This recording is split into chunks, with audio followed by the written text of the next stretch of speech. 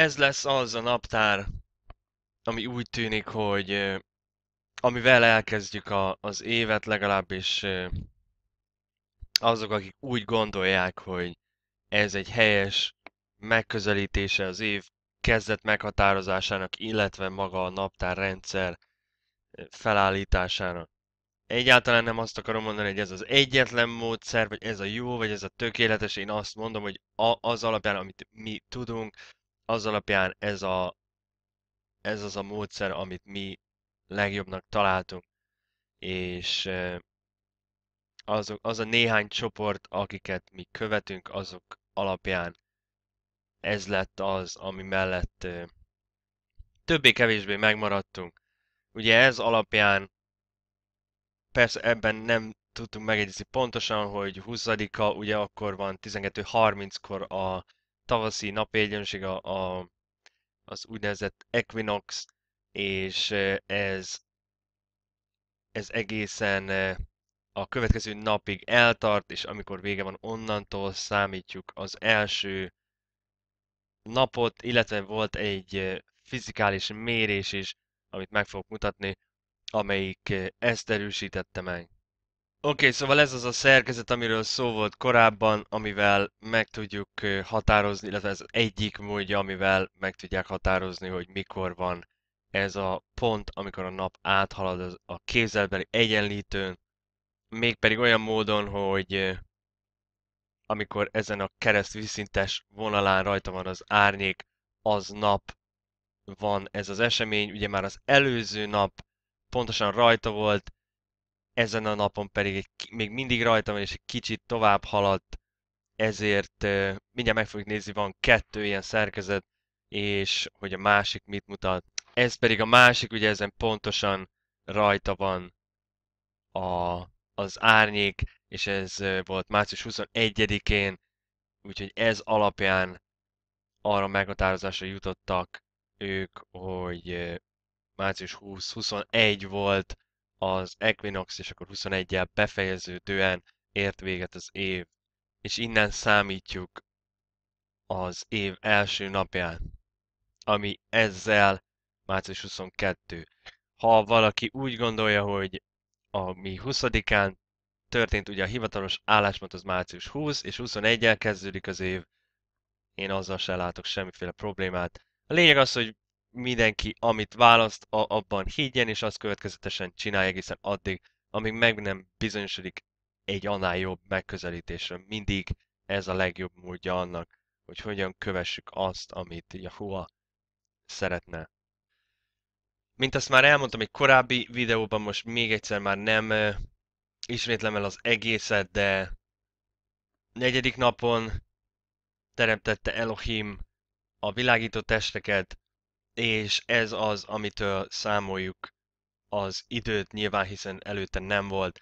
Tehát a hét negyedik napja az, ami elkezdi az évek folyamatát. Minden év a teremtő napja, naptárában 364 napos, és e, ez ismétlődik folyamatosan, ugyanúgy minden évben tökéletes körforgással. 364 nap, újra kezdődik, ugyanazzal a nappal, ugyanabban a sorrendben mennek tovább az évek, ellentétben azzal, ahogyan a mi pogány Gregorian kalendárunk, illetve naptárunkon ez van, az Equinox, a tavaszi napi egyenlőség az, ami kezdi az évet, ez mind az Énok kalendár, illetve az Énok naptárból lehet eh, ezeket a dolgokat kiszűrni.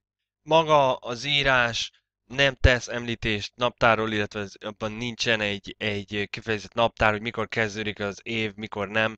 Azonban, ha megnézzük második Mózes sem mod 31-22, így szól, a hetek ünnepét is megtartsd a búza zsengének aratásakor, meg a betakarás ünnepét az, és az esztendő végén, ugye a, a Pentecost, illetve a sátrak ünnepe az esztendő végén, ami következik. Ez a szó esztendő végén, ez ez a héber szó. Strong's H8622 Tekufa. Tekufa. Ami annyit tesz, hogy vége vagy kör, és ez ö, körbeérést jelent, illetve az idő és a térnek a, a körforgását jelent, a körét, körpályáját, egy fordulatot jelent, illetve gyakorlatilag úgy képzelhetjük el, mint hogyha a napok körbeérnek ugyanúgy, ahogyan a maga a nap körbeér.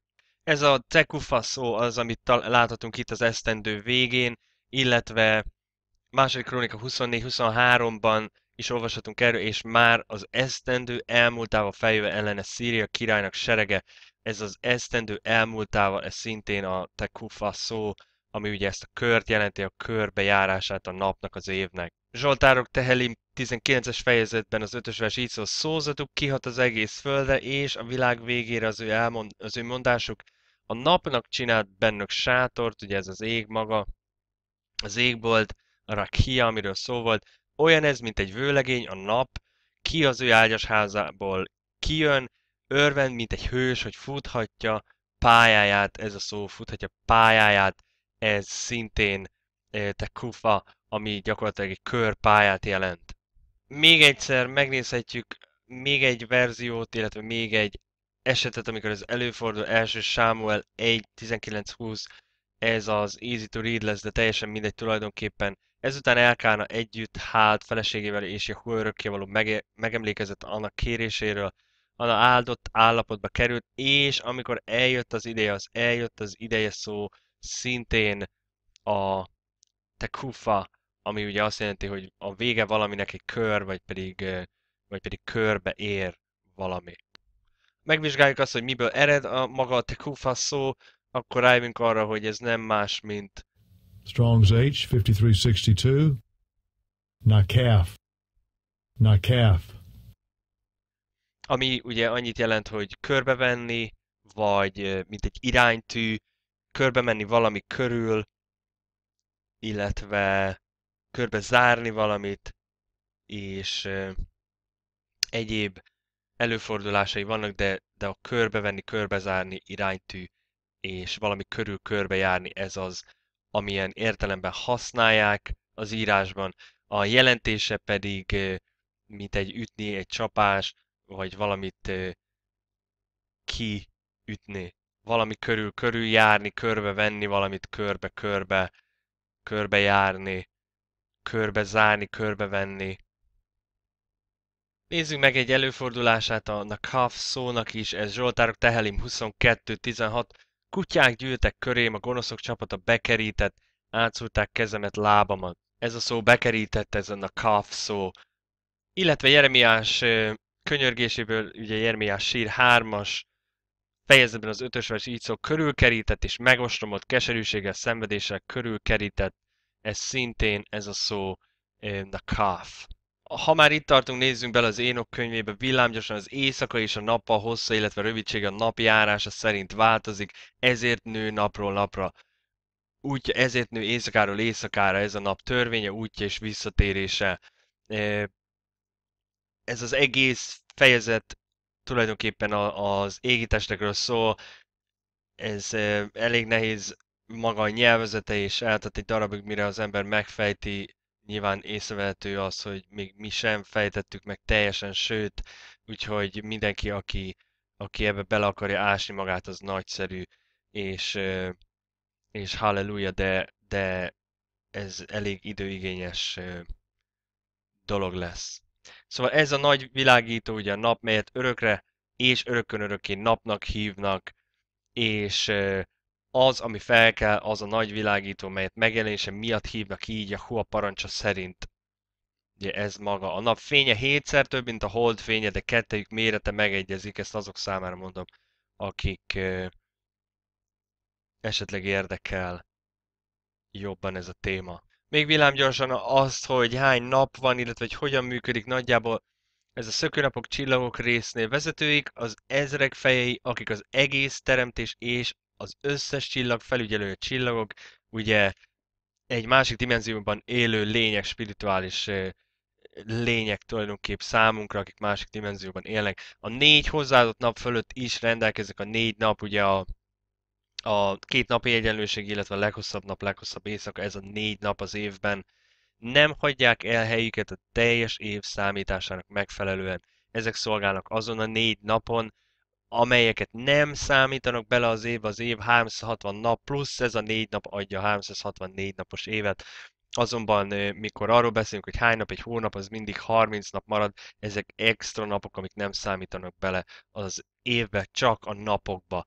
De, amint mondtam, ez, ez, ez egy komplikáltabb kérdés. Miattuk tévednek az emberek a számításon, pedig ezek a fények pontosan végzik szolgálatukat a világ állomásain. Egyik az első kapuban, másik a, más, a harmadik kapuban, egy a negyedikben, egy a hatodikban a világ folyásának pontos harmóniája az év 364 állomása által teljesül. 364 állomása van, az évnek 364 úgynevezett nap, ugye nappal és éjszaka váltakozása van egy év során, és akkor fordul újra az év, ez az a, amit ugye te kufának hívnak, az a kör, amikor körbe fordul az év, és újra kezdődik, ami, ami a teremtő szerint ugye a Bib egyes, ami a tavaszi napforduló utáni első nap. Még egyszer a csillagok hierarchikus rendje részben pedig így ír a napokra nézve, melyekben a nap az égen jár, 30 napon át ki és bejöve a kapukon 30 nap egy hónap, a csillagok rendjének ezredeseivel és a négy hozzáadott nappal, ugye ez a négy hozzáadott nap, amelyet, amelyek az évet négy részt tagolják. Ez ugye négyszer e, három hónap, í- így jönnek ki a, az évszakok. Meg ezek vezetőivel, akik velük együtt jelennek meg azon a bizonyos négy napon. Ezek miatt tévejegnek az emberek, mert nem veszik figyelembe őket az év számításakor, hanem tévedésben leledzenek felőlük, és nem ismerik pontosan őket. Mert ezek bizony hozzátartoznak az év számításához, és örök időkig helyesen vannak oda feljegyezve. Egyik az első kapuban, egy a harmadikban, egy a negyedikben, egy a hatodikban, ahogyan az előbb írta, az év összesen 364 nappal teljes. Tehát a teremtő naptárban nincsen 365 és egy negyed nap, nincsen szökő nap, szökő év, és a többi, és a többi.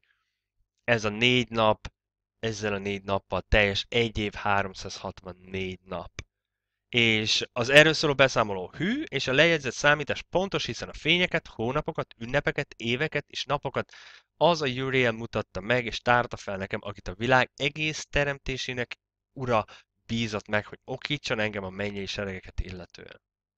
Hogy mikor is kezdődik az év, az Énok harmadik könyvében, az asztronómiai könyvből derül ki, mégpedig a 72. fejezetből, a 32-es vers így szól. Ezen a napon ismét rövidül az éj, 9 rész lesz, és 9 részből áll a nap is. Egyenlő lesz az éjjel és a nappal, ez már az év végét írja le.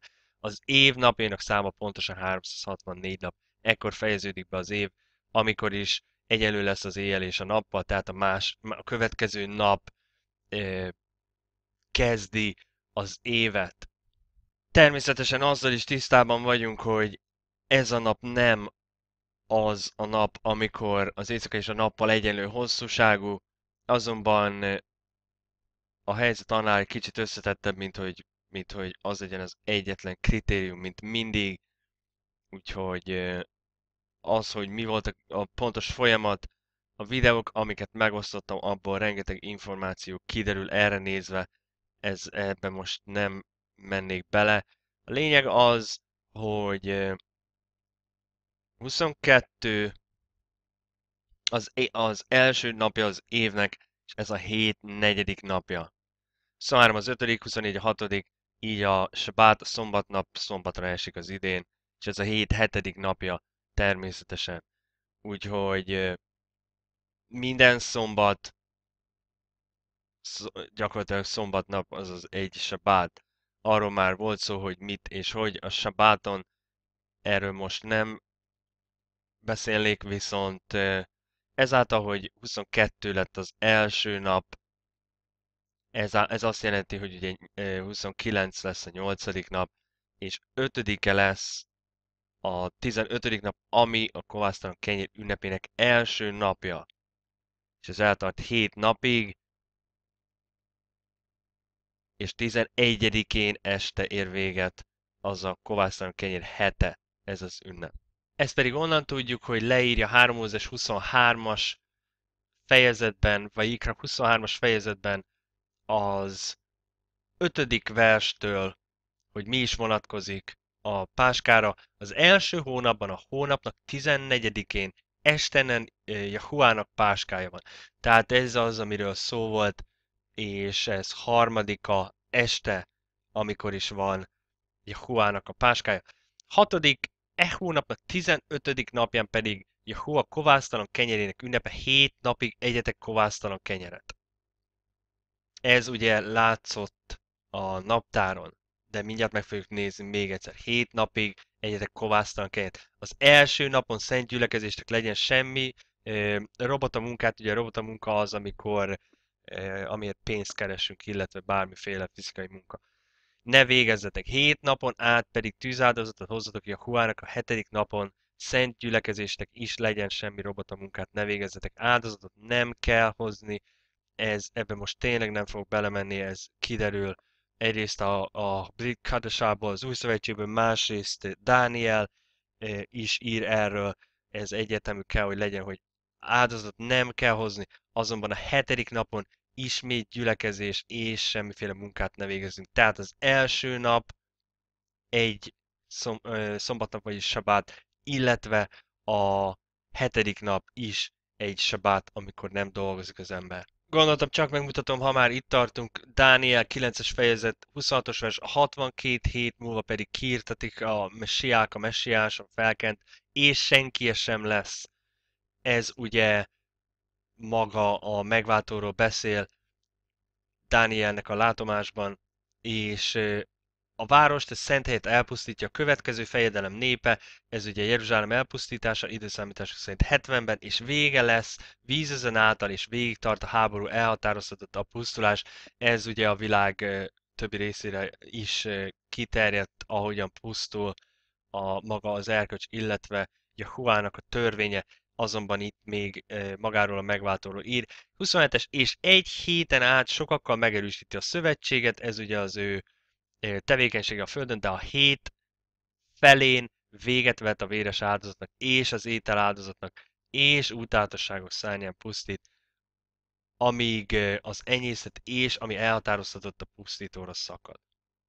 Így egyébként ki is adja a maga az, hogy a hét felén ugye véget vet a véres áldozatok, hiszen a hét fele az, az a pogány számítás szerint ugye vasárnap az első nap, hétfő a második, kedd a harmadik, tehát a hét fele az ugye szerdai nap lesz, ami annyit jelent, hogy a hét középső napja az természetesen a Gregorián napok szerint szerda, hiszen vasárnap a hét első napja és a sebát az utolsó napja. Tehát, hogyha a hét közepén vágatott ki a mesiák, az azt jelenti, hogy szerdán, ami azt jelenti, hogy vasárnap, hétfő, kedd, szerdai napon halt meg, onnantól kezdve 1, 2, 3 és a sabát végén támad fel, és vasárnap mentek, amikor már nem találták ott vasárnap reggel a hét első napjának reggelén. Így jön ki az utolsó hét, ez az egyetlen lehetőség arra, hogy kijön maga a Páska, Pészák, az pedig 14-én este, azaz kedden este kell, hogy megtörténjen. Onnantól kezdve 7 napig a kovásztalan kenyér ünnepe, és az első nap, és az utolsó nap egy sabátnak felel meg, amikor ugyanúgy, ugyanazok a szabályok érvényesek, annyi kivétele, hogy az ami étkezéshez szükséges, azt meg lehet csinálni ezeken a napokon. És későbbiekben még, ha úgy alakul, akkor beszélünk arról, hogy mi a pontos menete ennek a hétnek. Máté 26-os fejezetben olvashatunk erről, 17-es vers így szól, a kovásztalan kenyerek első napján pedig Jahusához menének a tanítványok és mondván, hol akarod, hogy megkészítsük néked ételed, a páska bárányt, ugye a húsvéti az, az természetesen a pogány ünnepre utal, azonban ez az eredetiben nyilvánvalóan páska. Strong's G 3957. Pascha. Pascha. Ez maga utal a, az áldozati bárányra, és ö, legtöbb esetben páskának, páskának van fordítva, egyetlen egyszer van húsvét a fordítva, legalábbis ez az angol verzió, ugye Passover 28-szor, és Easter, mint húsvét. Nézzük meg, még mielőtt tovább haladnánk, hogy másik Mózes sem ott 12-es fejezetben mit tudunk meg magáról a páskának a hátteréről, illetve azon kívül persze, hogy az áldozati bárány a világért ezen a napon áldozta föl tulajdonképpen magát. Ezért fontos az, hogy mindenki megértse, hogy az ünnepek nem csak egyszerűen azért vannak, hogy nekünk legyen mihez alkalmazkodni, hanem mindegyiknek spirituális jelentősége van. Ezen a napon emléksz, emlékezünk meg az áldozatért, ami a mi bűneinkért történt, az összes többinek megvan a saját maga jelentősége. Ezért fontosan. Erre világít rá másik Mózes sem ott 12-es fejezet szólott, vala pedig Jehova Mosének, Mózesnek és Aaronnak Egyiptom földén mondván, ez a hónap legyen néktek a hónapok elsője. Első legyen ez néktek az esztendő hónapjai között Abibról van szó. Ugye egy, szóljatok Izrael egész gyülekezetének mondván, e hónap tizedikén mindenki vegyen magának egy bárányt, az atyáknak háza szerint házanként egy bárányt. Hogyha a háznép kevés egy bárányhoz, akkor a házához közel való szomszédjával együtt vegyen a lelkek száma szerint. Ki kit ételéhez képes számítsatok a bárányhoz.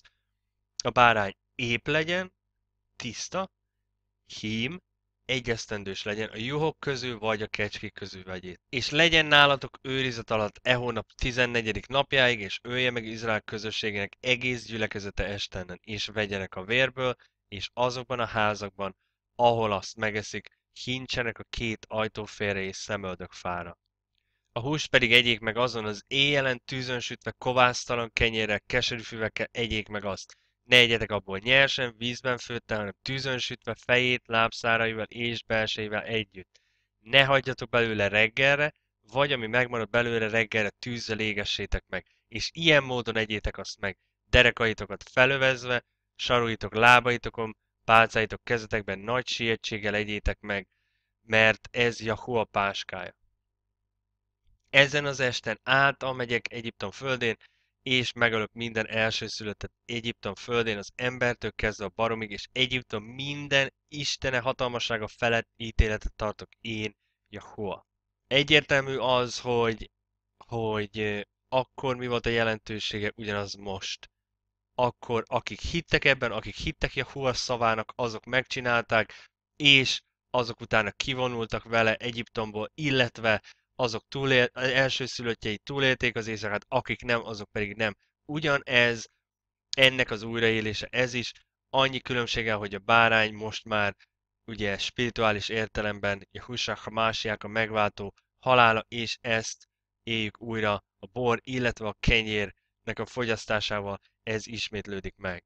És a vér jelül lesz néktek a házakon, amelyekben ti lesztek, és meglátom a vért, és elmegyek mellettetek, és nem lesz rajtatok a csapás veszedelmetekre, mikor megverem Egyiptom földét. És legyen ez a nap néktek emlékezetül, és innepnek szenteljétek azt, hogy a Hoának nemzetségről nemzetségre örök rendtartás szerint ünnepeljétek azt. Hét napig egyetek kovásztalan kenyért, még az első napon takarítsátok el a kovászt házaitokból, mert valaki kovászost elindik az első naptól fogva a hetedik napig, az olyan lélek írtassék ki Izraelből. Az első napon szent legyen, és a hetedik napon is szent legyen, azokon semmi munkát ne tegyetek, egyedül csak ami eledelére való minden embernek azt el lehet készítenetek megtartsátok a kovásztalan kenyér ünnepét, mert azon a napon hoztam ki a ti seregeiteket Egyiptom földéről. Tartsátok meg hát e napot nemzetségről nemzetségre örök rendtartás szerint.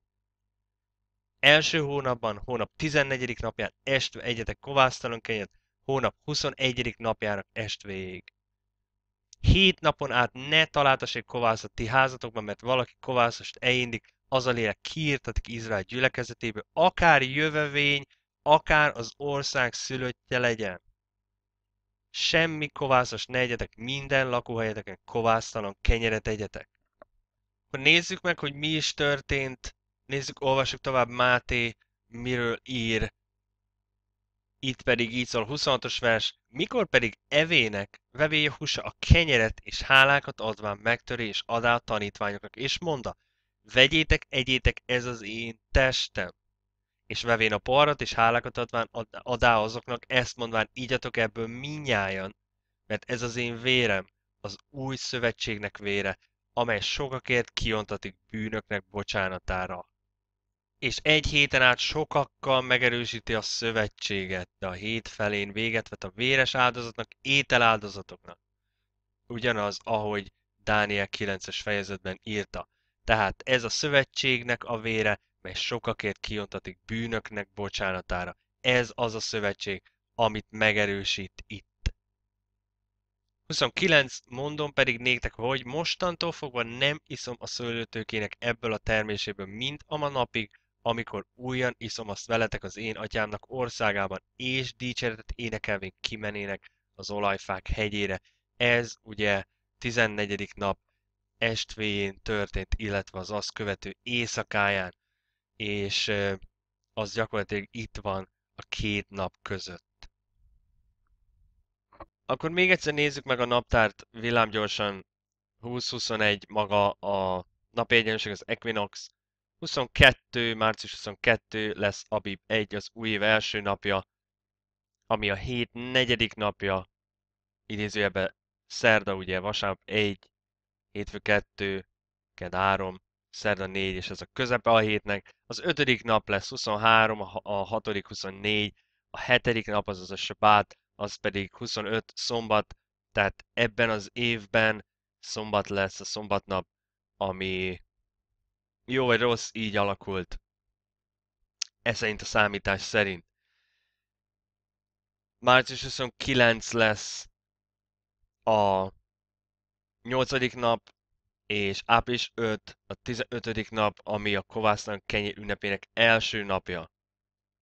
Utána második, harmadik, negyedik, ötödik, hatodik, hetedik, tizenegyedikén ér véget az ünnep, ami a hetedik napja, és ez a két nap és, sabátként funkcionál.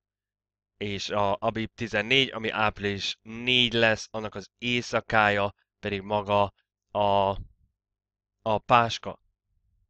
Úgyhogy ezzel a naptárról ennyit, még a későbbiekben megpróbálom azt kinyomozni, illetve segítséget nyújtani, amennyire tudok, hogy mi az, amiről szól ez az egész, mit kellene tennünk, vagy hogyan kellene megközelítenünk ezt az ünnepet de a lényeg az, hogy aki szeretné, az követeti a naptárt ilyen módon, és a későbbiekben persze a többi ünnepet is meg fogom mutatni, hogy ez szerint hogy alakul, mikor lesz, és remélhetőleg az már kiderült mindenki számára, hogy ezek miért fontos dolgok, ha nem, akkor mindenképp nézzétek meg a, a Fenevad Bélyege című sorozatot, ami azt hiszem 5 rész vagy 6, az az ünnepekről szól, illetve hogy mi is a fenevad bége és a többi.